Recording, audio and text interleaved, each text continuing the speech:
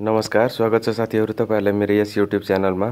साथीहरू यस भिडियो मार्फत तपाईँहरूले अब आउन लागेको तिनवटा लघु वित्त कम्पनीको आइपिओ बारे जानकारी दिनेछु। त्यही भएर कृपया भिडियो अन्त्यसम्म हेरिदिनु होला र मेरो यस युट्युब च्यानलमा नयाँ हुनुहुन्छ भने कृपया सब्सक्राइब गरिदिनु होला अब आउन लागेको तिनवटा लघु वित्त मध्ये एक नम्बरमा रहेको छ उपकार लघु वित्त वित्तीय संस्था।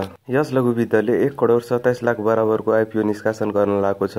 उपकार लघु वित्त वित्तीय संस्थाले प्रति किता रु एक सय अङ्कित मूल्यका एक लाख छब्बिस हजार किता आइपिओ निष्कासन गर्न लागेको हो। यसको बुक भ्यालु एकदमै राम्रो भएकोले यसको ओपनिङ प्राइस एघार सय भन्दा माथि हुनेछ। भने यसले बिक्री प्रबन्धकका रूपमा नेपाल एसबिआई ब्याङ्कलाई राखेको छ। रेटिङ एजेन्सी इक्रा नेपालले यसलाई आइआर डबल बी रेटिङ प्रदान गरेको छ जसको अर्थ यसले वित्तीय दायित्व वहन गर्ने सम्बन्धमा मध्यम जोखिम रहेको बताउँछ।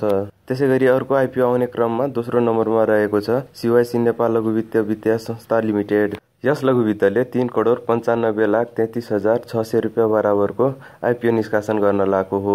यस लघु वित्तको आइपिओ भर्दा प्रति किता रु एक सय रुपियाँ लाग्नेछ भने यस लघु वित्तले तिन लाख पन्चानब्बे हजार तिन सय छत्तिस किता आइपिओ निष्कासन गर्न लागेको हो। अब यो आइपिओमा पनि केही सामूहिक लगानी कोषका लागि छुट्याएको हुन्छ भने केही कर्मचारीको लागि छुट्याएको हुन्छ र बाँकी बचेको आइपिओमा सर्वसाधारणले आवेदन दिन पाउनेछ।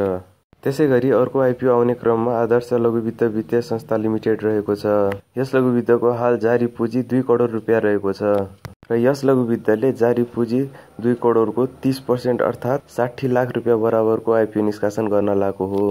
यस लघु वित्तले मात्र साठी हजार किता आइपिओ निष्कासन गर्नेछ र भाग्यमानीलाई मात्र पर्नेछ। र अब यो कम्पनीको आइपिओहरू कहिले आउँछ भन्ने भन्नुपर्दा अहिले छवटा कम्पनीको आइपिओ आउने क्रममै छ। र यो छवटा कम्पनीको आइपिओ निस्किसकेपछि पाइपलाइनमा रहेको उपकार लघु वित्तको आइपिओ आउनेछ भने सिवाइसी र आदर्श लघु वित्त पनि आइपिओ आउने पाइपलाइनमै छ। यो थियो साथीहरू अब आउने क्रममा रहेको तिनवटा लघु वित्तको जानकारी। यदि तपाईँहरूलाई यो अपडेट भिडियो मन पर्यो भने कृपया लाइक कमेन्ट सेयर सब्सक्राइब गरिदिनु होला। थ्याङ्क यू धन्यवाद।